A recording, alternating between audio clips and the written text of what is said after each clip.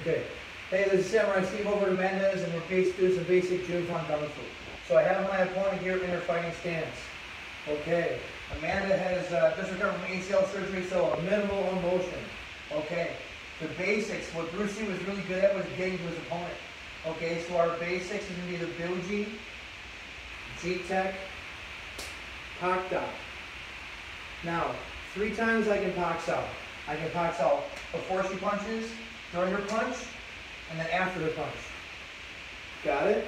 Three times you can Pak Sao, which tells you that's a super high percentage move. Um, so do it all the time, enter safely. The difference is, is when I do it though, I'm gonna have to enter with my shoulder up like a boxer. I can't come in like this because I'm gonna get caught.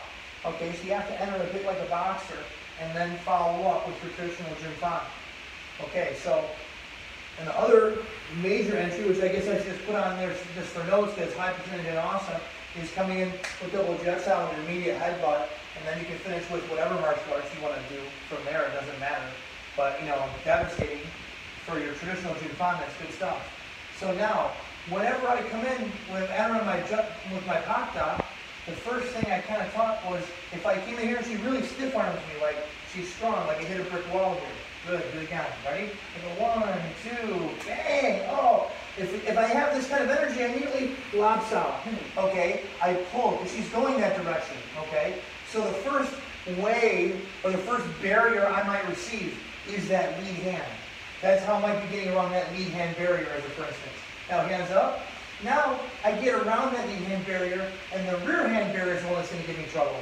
So let's change positions. Okay, so now as I fake, I do my Jeet Tek, I get through this, which means yes, this is the one that carries.